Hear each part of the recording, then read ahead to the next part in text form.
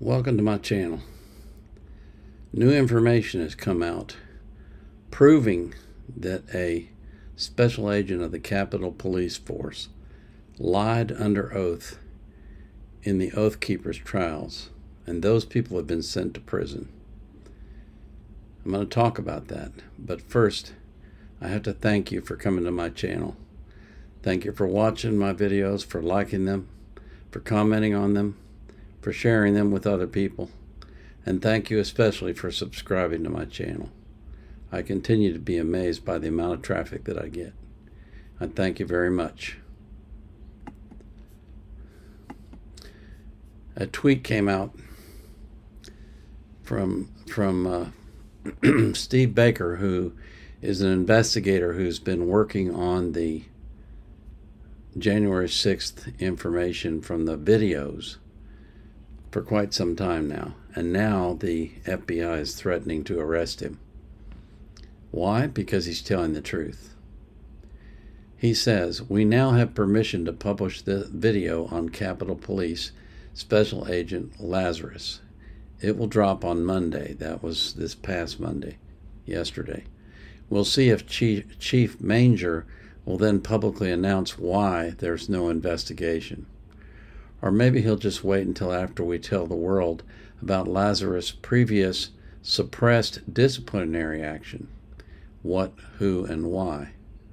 Hmm? What say you, Chief? This tweet got a response from a Tarik Johnson. Tarik Johnson is a former lieutenant in the U.S. Capitol Police. She says, breaking news. I was just informed by a source that I deem very credible that USCP Chief J. Thomas Manger has decided not to investigate the allegation that USCP Special Agent David Lazarus gave false testimony in the Oath Keepers trial. If you are not aware of this story, Blaze reporter Steve Baker presented video evidence that Agent Lazarus was not present during an in interaction between the Oath Keepers and Henry Dunn, but gave testimony that he was, and the interaction was highly contentious. Combined, the Oath Keepers were sentenced to decades of years in prison. To not even investigate an allegation of this level, with the evidence presented by excuse me, by un eh, by per, by let's see, let me read that again. To not even investigate an allegation to this level with the evidence presented is unconscionable. I believe the benefit of this the doubt should be given to Chief Manger to confirm if the department's position is to not investigate, and I pray the information given to me is incorrect.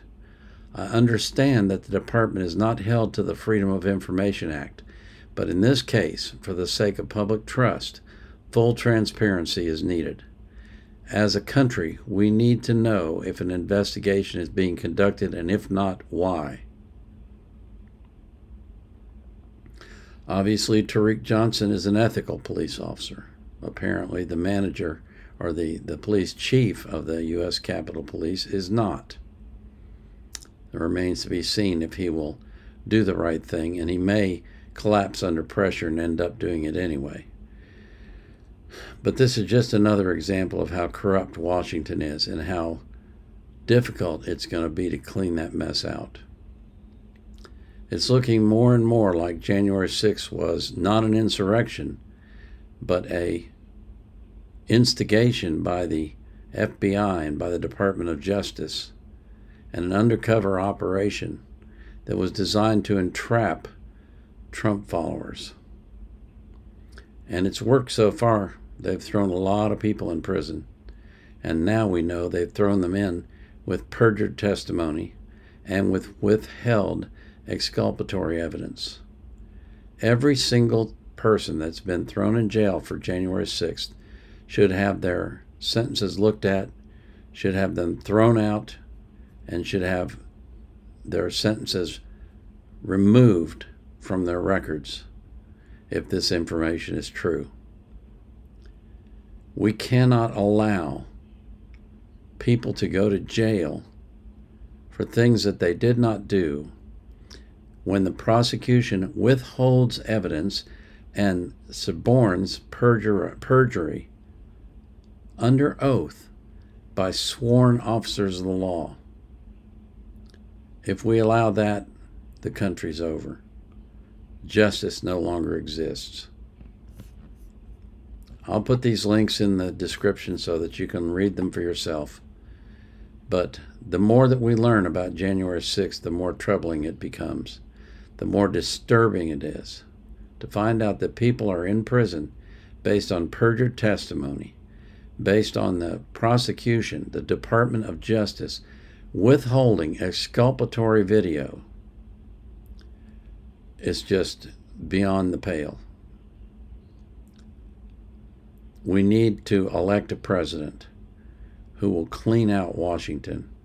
And that's going to be a tough job. I don't know if there's anybody that can do that, but we need someone who's going to at least try.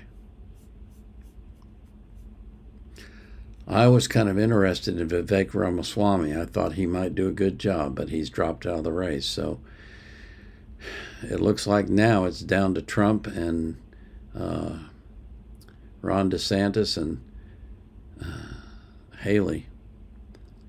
And to me, none of those are good choices. And it really looks like Trump's going to be the one who's nominated. But boy, have we got a mess in this country. And boy, does it need to be cleaned up. We need God to intervene. That's the only way this is going to work. God's going to have to do something miraculous. Well,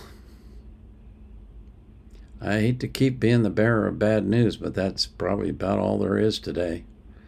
All there is in this age is bad news about how bad things are and how rotten Washington is and how much we need to clean it out.